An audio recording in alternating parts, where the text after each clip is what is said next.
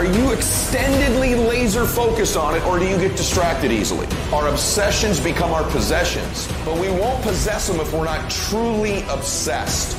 Turn your damn TV off. Turn your phone off a lot too. Does it really matter what's going on with the Kardashians right now? Don't be so obsessed with them. Be obsessed with your own reality TV program called Your Own Life. This suffering, this sacrifice you're making is an indicator of progress. It's an indicator of obsession. Suffering and sacrifice and hard work is an indication of progress towards our dreams. The price you will pay for not making your dream come true is far greater than the one that you will pay to make it come true.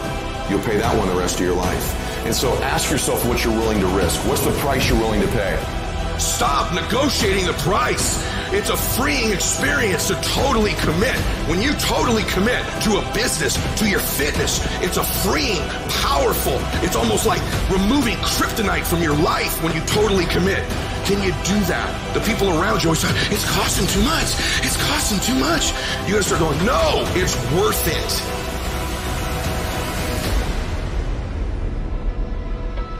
I dare you to work on yourself for six months.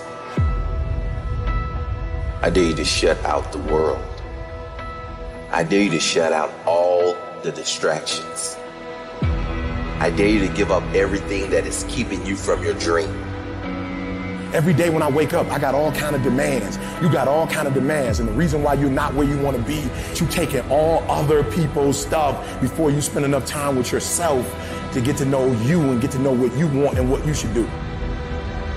Come on, y'all. Y'all heard it a million times. In case of an emergency, put the doggone mask on yourself first. And the problem with most of you in this room, you giving it to everybody else first. And then you pissed when you give it to everybody else first and you come up short and you wonder why you came up short because you gave it to everybody else first. Take care of you. You guys need to understand what you don't have to do. You don't have to work hard. You don't have to eat right. You don't have to sleep right. You don't have to do more than what's required of you. You don't have to be a good teammate. You don't have to be a good leader. You don't have to do anything that you don't want to do. But you also don't have to win. You don't have to be a success in life. You don't have to help your team win. You don't have to play. So the greatest things in life take sacrifice and discipline. And that's why so few people achieve great things. Because they don't want to sacrifice, they don't want to discipline for something greater. So you see all these people that have great things in life that you look up to, it's because they were sacrificed and disciplined long before you ever knew them. Every day, do something that moves you toward that goal, that keeps that goal alive and in sight and in focus. However small or insignificant that step might seem, take it, do it, make it happen, because that goal isn't going to achieve itself. It is all on you. Some of y'all so caught up on the game that you don't get it. It is in practicing. It is in eating right. It is in making good decisions that you look a certain way. It is how you practice. It is what you do that makes you look like you look. It is the process of the grind that shapes you and forms you. It's not the game. And that's why most of y'all get beat in the game or make mistakes in the game because you think grinding is what happens when the sun comes out. You think grind is what happens when the lights come on. You think grind is what happens when people get in the stage. That's not grind. The real grind is in the dark when nobody sees you, when nobody knows what you're doing. When you studying without coach, when you putting in those extra reps, when you watching those videos and you getting inspired, when you change your music, it's the process that makes you sweet. You concentrate on winning. You concentrate on dominating. Listen to me. Focus on this stuff. And when we focus on that, that's where our energy is going to go. So all the little stuff you talking about, all the little social media, cut it off. Cut it off. Do what you're supposed to do. You ain't no boy no more. Get off social media. It's killing you. Stop Netflix. Who you watching? Watch you. Cut the TV off. It's going to be there. You got a job to do. That's what you're getting paid for. Have some pride. Cut off the TV, son. Cut that doggone football game off. It ain't doing nothing for you. They making millions, you not. More stuff comes to you when you execute, son. I hate when people give 70%, but they want the life of somebody that's giving 130%. I challenge you. Your life is where it is because of the percentage that you're giving. If you hit a tree a thousand times in a thousand different spots, the tree is not going to fall. But if you hit a tree a thousand times in that same exact spot, she's going to come to the ground. Your problem is you did hit it a thousand times, but in a thousand different places. you to do me a huge favor. Stop trying to be deep. I need you to do the exact same thing every single day for the next 10, 15, 20 years and watch that tree come down. And watch you go from zero to a multi-million dollar company. Nothing's changed, guys. I'm doing the exact same thing I was doing 20 years ago. I just keep doing it.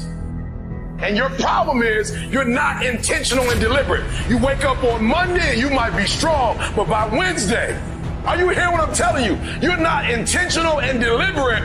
Are hoping that the best is going to happen to you, and the best never happens to you. You got to be intentional and deliberate, whether you're making money or not making money. You got to decide that you're going to do something, and you got to do it every Monday, every Tuesday, every Wednesday, every Thursday. The problem with some of you in this room, you're not intentional and deliberate. You're a good person that just hopes the good stuff is going to happen to you. You still got work to do. Stay on that basketball court. Stay on that football field all the homies texting and calling and trying to make you feel bad about being so focused. It's grind season, homie. It's not about today, it's about the future. There's only two ways you can be. You can be the person who learns a little bit, who does a little bit, and then who decides that this shit really isn't for them and moves on to something else and repeats that cycle over and over and over again. Or you can be the person who's committed. You can be the person who says, this is going to fucking work no matter what happens. No matter how frustrated I get. No matter how angry I get. No matter what happens in the world. No matter what. I'm fucking doing this. Those are the people that are gonna win. You gotta stop telling yourself that you're doing enough. You have to do more. In life, it's never enough until you feel this overwhelming feeling of shit, man. I'm outworking the crowd. I'm outworking everybody. I'm doing more. Once you get there, that's when you know you've done enough. You gotta do your best work when you're least motivated. So those days you don't want to do it, you gotta second the f up to do it. People who do stuff consistently and on time, they surpass people who talented and gifted. You guys have got to believe in yourself. Headstrong, mentally tough. That's the only way through the bullshit here in life. Winners, the difference between them and the spectators is the winners have a belief that overrides the crowd's disbelief every single time. Their belief is so strong, even though they hit failure, they get knocked on the ass. They're finding intentional fortitude to stand back up again, face that same challenge, learning from the previous mistakes, and make it happen. Winners fail a million times. What makes them a winner is that they believe it, they're headstrong. Nothing's gonna stop them. There is no excuse for not being the hardest worker. Yeah, someone might be bigger, stronger, faster, quicker, younger, whatever else, but there is no excuse to not be the hardest worker there. No longer are we gonna accept rhymes and society's rhyme the reason that we are average. Average is a weak mentality. We must believe it so much so that we're arrogant about it. We must be soft for excellence. The easy route never pays well. The only route in life that pays well is the hard route. When you're working out and you want to die, feel the death happening in you. Feel the pain happening in your legs as you rep out one more squat. Because it'll be